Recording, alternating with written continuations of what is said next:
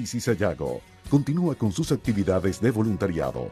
Esta vez organizó una mega jornada de alimentación para favorecer a las personas que se encuentran en situación vulnerable o de calle. La actividad contó con el apoyo de todos los voluntarios de La Olla Solidaria, Arepita Feliz Miranda y donde come uno, comen dos. Llena de mucho orgullo ver que el venezolano aún tiene esas ganas de ayudar, tiene esas ganas de compartir. Son simplemente asociaciones civiles, simplemente personas que se agruparon, que decidieron compartir. Ellos dos ni siquiera se conocen y nosotros los estamos uniendo. Oye, el mensaje que damos sería que se unan, sumándose como colaboradores, ayudando a cocinar, prestando un espacio que tengan, eh, acompañándonos a las caravanas, acompañándonos a llevar las comidas, todo es importante, ¿verdad? Que es lo que queremos, unión, que sea una sola familia, que podamos compartir todos esta hermosa experiencia.